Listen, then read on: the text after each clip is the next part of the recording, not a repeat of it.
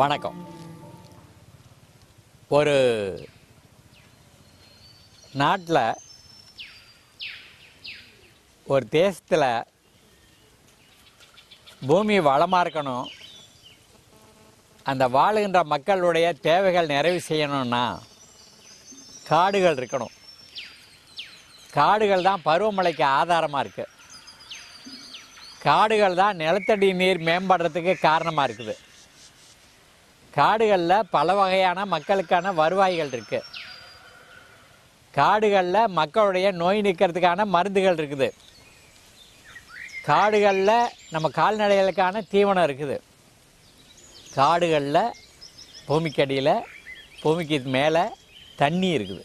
பூமியில் முப்பத்தி மூணு விழுக்காடு பரப்பு காடாக இருக்கணும் அப்படின்னு உலக அளவில் யோசித்தாங்க நம்ம நாட்டை பார்த்தாக்க வெளிநாட்டுக்காரவங்க இந்தியாவை விட்டு வெளியேறிய போது நம்முடைய காடுகளின் பரப்பு இருபத்தி மூணு விழுக்காடாக இருந்தது. இதை முப்பத்தி மூணு விழுக்காடாக உயர்த்தணுங்கிறதுக்காக நிறைய பணம் செலவழித்து திட்டம் போட்டு வேலை செஞ்சாங்க. ஆயிரத்தி தொள்ளாயிரத்தி எண்பதுகளில் கணக்கு பார்த்தா அது இருபத்தி மூணு விழுக்காடு முப்பத்தி மூணு விழுக்காடாக மாறுவதற்கு பதிலாக பதினோரு விழுக்காடாக குறைஞ்சிருந்தது. நம்முடைய ஆகாயத்தில் ஆப்பிள்னு ஒரு செயற்கை சந்திரனை சுத்த விட்டுருக்குறோம். அது குறிப்பிட்ட ஒரு இடத்துல நின்று படம் பிடிச்சி அனுப்பிச்சிக்கிட்டே இருக்குது. அந்த படங்களுக்கு வண்ணம் திட்டி பார்க்கும்போது தான் தெரிஞ்சுது பூமி பரப்பில் இந்தியாவில் பதினோரு விழுக்காடு மட்டும்தான் காடு இருக்குது அப்படின்னு. இந்தியாவில் சமூக நலக்காடு திட்டம்னு ஒன்று கொண்டு வந்தாங்க. அதை தமிழ்நாட்டில் வந்த திட்டம் வந்து SIDA Swedish International Development Agency. அவங்க நூற்றி பத்து கோடி ரூபா கொடுத்தாங்க. இதை வாங்கிய வனத்துறை என்ன பண்ணுது?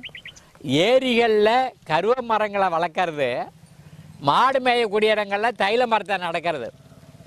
இதை நாம் எல்லாரும் அதை உள்ளே புகுந்து ஆய்வு செஞ்சு பார்க்கும்போது தெரிஞ்சது ஸ்வீடனோட இந்திய அரசாங்கம் கையெழுத்து போடும்போது தெளிவாக கையெழுத்து போட்டிருக்குது. என்ன கையெழுத்து போட்டிருக்குன்னா சோஷ சமூக நலக் காடுகள் என்பது அந்தந்த கிராம பகுதியில் உள்ள சமூக நலனை பேணுவதாக இருக்கணும். ஆனால் ஏரியில் தண்ணி நிறுத்தணும். ஒவ்வொரு ஆண்டும் மண்டல அள்ளி கொண்டு போய் நிலத்துல கொட்டணும். குளம் ஆழமாகணும். நிறைய நீர் கொள்ளணும். அதில் போய் கருவ மரத்தை முள் மரத்தை நட்டுட்டா அது வண்டல் அள்ளப்படவும் இல்லை வயல் செழிக்கவும் இல்லை ஏரியில் தண்ணி கொள்ளளவும் கூடலை. அதே மாதிரி மாடு மேய வேண்டிய இடத்துல தைல மரக்கன்றுகளை நட்டுட்டு அதுக்கு கம்பத்தை நட்டு முள்வேலி போட்டு மாட்டை உள்ளே போவாதா ஆளை உள்ளே போவாதா இப்படியெல்லாம் சட்டம் போட்டுக்கிட்டு இருந்தாங்க. இதுக்கு பேர் சமூக நல திட்டம்னு சொன்னாங்க. இது சமூக நல காடுகள் இல்லை. இதில் சமூகமும் இல்லை காடுகளும் இல்லை என்ற விமர்சனம் நாடு முழுதும் போயிட்டு இருந்தது. அப்போ தொண்டு நிறுவனத்தை சேர்ந்தவர்கள் என்ன நினச்சோம்னா நாம் சில மாதிரிகளை செஞ்சு காமிக்கலான்னு நினச்சோம். அப்படி குடும்பங்கிற தொண்டு நிறுவனம் அம்மங்குறை காடு இல்லாமல் மொத்தம் பத்து ஊர்களில் பத்து காடுகள். தரையோட தரையாக பொட்டலாக போயிட்டதை மறுபடியும் மரம் நட்டு காடாக்கணும். அந்த மக்களுடைய பங்களிப்பு இருக்குல்ல அதில் முழு நம்பிக்கையை கொடுத்தது அந்த அம்மங்குறை காடு. அப்போ என்ன செஞ்சோன்னா குறுக்க குறுக்க சரிவின் குறுக்க வரப்புகள் போட்டோம். இந்த வரப்புகளில் நெய்வேலி காட்டாமணிக்கு செடியை நட்டோம். அந்த தண்ணி தேங்கி தேங்கி பூமிக்கு அடியில் போய் மறுபடியும் கரிஞ்சு ஓடிச்சு. வேகமாக ஒடியாந்த பகுதியில் குறுக்க வரப்பு போட்டது மட்டும் இல்லாமல் கத்தாழைகளை வேற நட்டோம். அவைகளை தாண்டி அந்த இது வழிஞ்சு போகலாமுடைய தண்ணி அதை பொத்திக்கிட்டு போயிட முடியாது. எங்கெங்கே எல்லாம் முடிஞ்சதோ அங்கெல்லாம் குட்டை குட்டையாக வெட்டணும். தண்ணி அதில் தேக்கணும். அதை மொண்டு ஊற்று இந்த கன்றுகளை வளர்த்தாங்க. இதுக்கு மேலே இயற்கை மிகச்சிறப்பாக வேலை செஞ்சது. என்ன மிகச்சிறப்பாக வேலை செஞ்சது அப்படின்னா நிறையா மயில் வரும். இந்த மயில்கள் வந்து இந்த ஈச்சம்பழத்தை உருவி உருவி சாப்பிடும். சாப்பிட்டுவிட்டு போகிற இடமெல்லாம் சாடி போட்டு போகும். நிலத்தை அது வளமாக்கணும் நாம் நட்ட மரங்களில் ரெண்டு மரம் இல்லை. ஒன்று வேப்ப மரமும் நம்ம நடலை இன்னொன்று புளிய மரமும் நம்ம நடலை. வெறும் பொட்டலாக இருந்த பூமியில் வரப்பை போட்டு குழி எடுத்து அதில் மரக்கண்ணை நட்டுக்கிறோம்.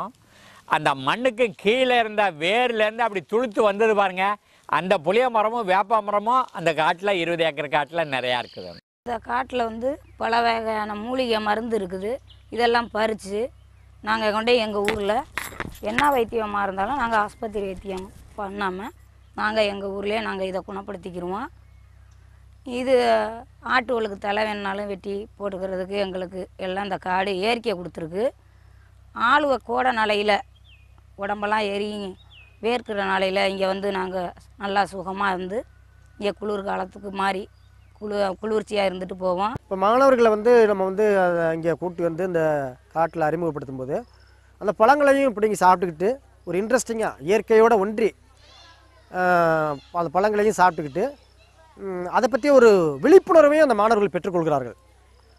பெற்றுக்கொண்டு வந்து அவங்க வளர்ந்து வர்றகிற போது இந்த காட்டை நம்ம இன்னும் பாதுகாக்கணும்.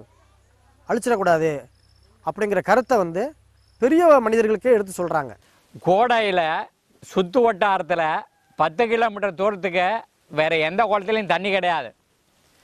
எல்லா ஊர் மாடுகளும் இங்கே தான் தண்ணி குடிக்க வருது. அதை குளத்துல தண்ணியை குடிச்சிட்டு ரெண்டு ஆலமரத்தாட்லேயும் படுத்து அது ஓய்வு எடுக்குது பையங்க விளையாடுறாங்க ஆலமரத்து விழுதில் ஊஞ்சல் ஆடுறாங்க அதுக்கப்புறம் தான் ஓட்டிகிட்டு போயிட்டுருக்காங்க அந்த நம்ம அம்மங்குர காடுக்கு பின்பக்கத்தில் கிழக்குலாப்பட்டியோடைய ஏரி இருக்குது. ஏரியோடைய தாவில் நெல் விளையாற நிலம் இருக்குது அவங்க ஒவ்வொரு தடவையும் உழுது நட்டு கடைசியில் சாவியை தான் அறுத்துக்கிட்டு இருந்தாங்க. மக்களுக்கு வைக்கலாவது கிடச்சிருந்துட்டு. இப்போ அம்மங்குர காடு அப்படியே தண்ணியை தேக்கி வச்சுக்கிட்டு இருக்குது. தண்ணி வந்து அங்கே குளத்துல குறைய குறைய இது தண்ணி சப்ளை பண்ணிக்கிட்டே இருக்கு. கல் கம்பம் போடல கம்பி கட்டலை உயிர்வேலியை தான் ஏற்படுத்தியிருக்கிறோம். அந்த உயிர்வேலி புகலிடமாக வேலை செய்யுது. நம்ம வளர்க்காத பறவைகளுக்கும் கீரிக்கும் அணிலுக்கும் அது புகலிடமாக இருக்குது.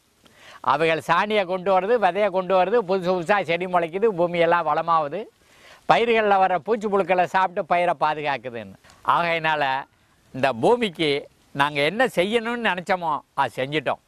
அதாவது நீங்கள் எந்த பொட்டல் காடனாலும் நீங்கள் கையில் கொடுங்க அதை காடாக்கி காட்டுறோம்.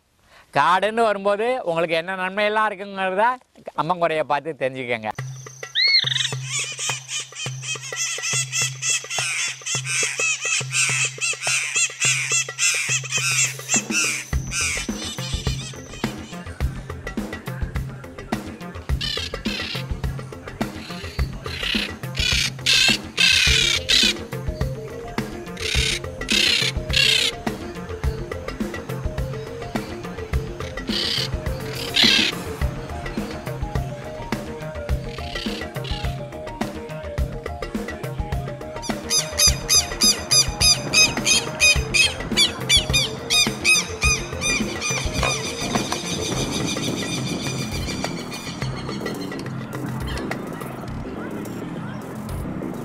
அந்த பாரதிதாசன் காட்டை பற்றி சொன்னதான் எனக்கு நினைவில் நிற்குதுன்னு அவர் என்ன சொன்னார்?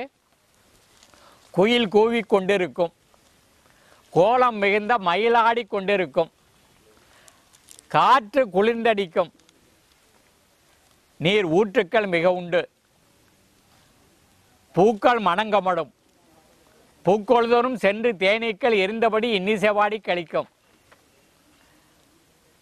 காட்டு மறவர்களும் காதல் மனம் செய்வதுண்டு.